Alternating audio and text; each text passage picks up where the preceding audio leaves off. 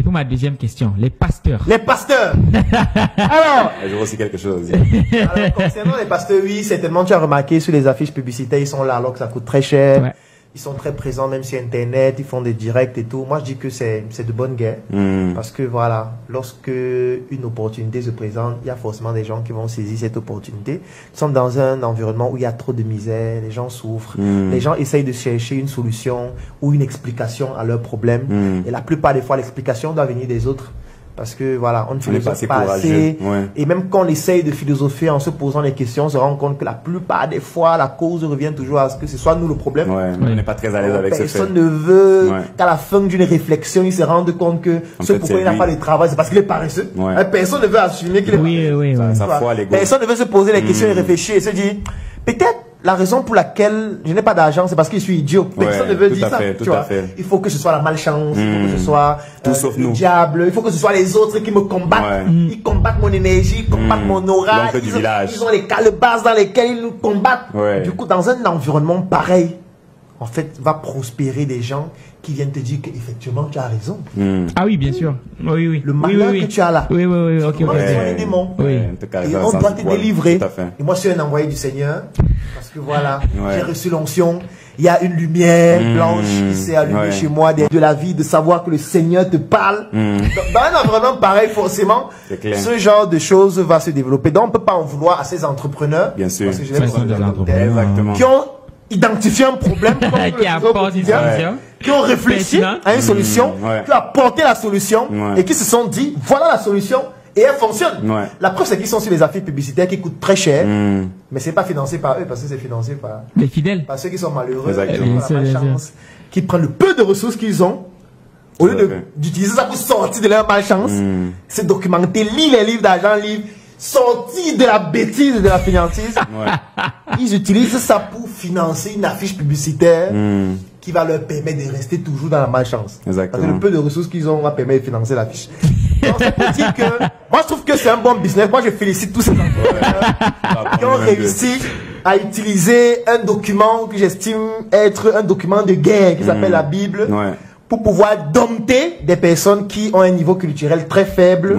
Ou alors qui refusent d'assumer que 99,9% de leurs problèmes est dû à À leur propre fait. Ouais. Et même si c'est dû à quelqu'un, ils ont le pouvoir d'empêcher à cette personne-là, de leur empêcher de bénéficier de leurs droits. Tout à fait. Donc, si par exemple tu estimes que c'est Arthur ton problème, il y a deux astuces. Soit tu te sépares d'Arthur, Mm. tu vas ailleurs pour Ouais. trouver une solution. Soit tu élimines Arthur. Tout à fait. C'est la cause de ton problème. Tout à fait. Donc, tu n'élimines pas Arthur. Ouais.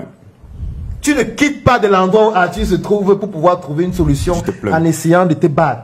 Mais tu pleures chaque jour que Arthur me combat, Arthur, c'est le démon. Arthur, mais tu es devant Arthur. Mais on va même plus loin. C'est parfois Arthur qui te nourrit. Eh, C'est Arthur qui te donne à manger. En effet. Il te donne à boire, il te donne de l'argent. Et l'argent là, tu prends ça pour aller donner, pour qu'on fasse la fiche, pour que tu pleures Hmm, encore. En effet. Bon, après, bravo à ces entrepreneurs.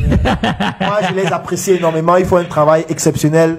Vraiment, j'espère que le Seigneur voit ce qu'ils font. Parce que ils prétendent être ses disciples. Certains sont même ses apôtres. Tout à fait, hein, tout à fait. hein. J'espère que Dieu voit ce qui se passe. Ouais. Et c'est lui qui a voulu que tout se passe comme ça. Parce qu'on dit qu'il est omniscient, omnipotent. Il a, il a défini ce qui va se définir. Donc c'est lui qui a voulu qu'eux ils soient là. Parce Exactement. que s'il ne voulait pas, il devait les, em- leur empêcher de le faire. Ouais. Donc c'est Dieu qui a voulu tout. Donc acceptons seulement ce qui se passe. Et comme- Énorme. Et tu as dit ce sont les entrepreneurs. Moi, je veux me dire, je veux revenir à ce qu'on parlait, euh, ce qu'on disait au début. C'est l'industrie qui guide un pays. Oui. L'église, c'est une industrie. Et Bien on ne sûr. prend l'argent pour faire tourner il faut l'argent de ces industries. Donc, c'est tout à fait normal que si toi, qui fais, euh, je sais pas, dans l'édition des livres, tu n'as pas assez d'argent pour payer les panneaux de publicité, l'industrie qui a suffisamment d'argent, l'annonceur qui a Il va suffisamment de soi, il va de d'argent, soi. vient et il finance et c'est comme ça qu'ils ont leur tête partout. Donc, euh, notre pays, malheureusement, a fait la promotion de l'industrie de l'église et maintenant on en récolte juste. Mais notre- Arthur, je vais compléter ce que tu as très bien dit. Le statu quo est parfait pour le gouvernement. Ouais. Que ça fonctionne comme ça, Mhm. le gouvernement est tranquille. Hmm. Pour une raison simple.